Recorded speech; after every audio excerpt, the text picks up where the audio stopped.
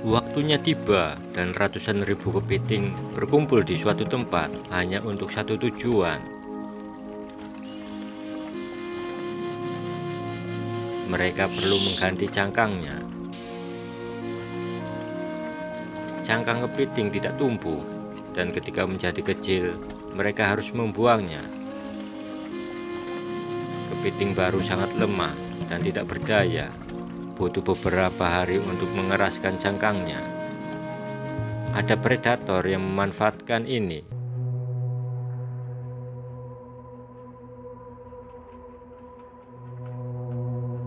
Dia adalah ikan pari dan kepiting salah satu makanan favoritnya. Satu ekor ikan pari bisa makan hingga 50 kepiting per hari.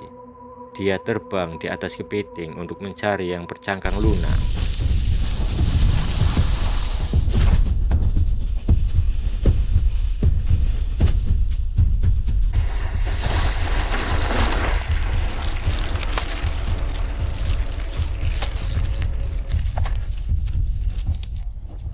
Dan ketika dia menemukannya dia menyedot semua ampasnya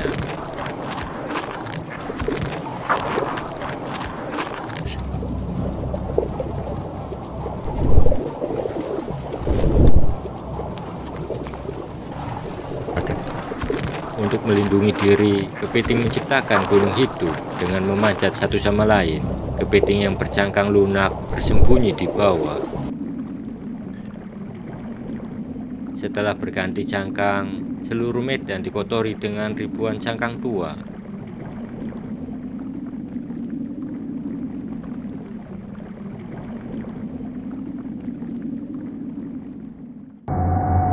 Namun ikan pari juga mengalami kesulitan.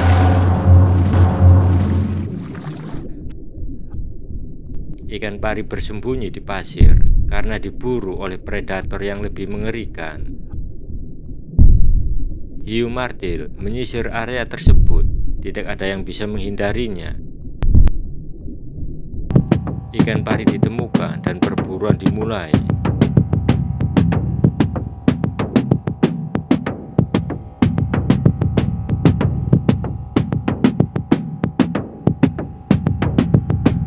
Sayangnya ikan pari gagal melarikan diri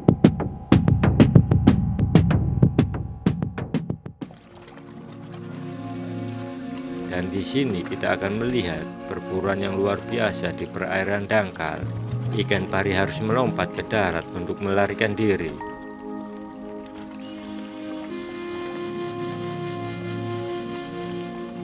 Setelah menunggu sebentar, dia kembali ke air. Tetapi hiu itu tidak pergi. Dia menunggunya Bagaimana konflik ini akan berakhir, kita semua tidak mengetahuinya.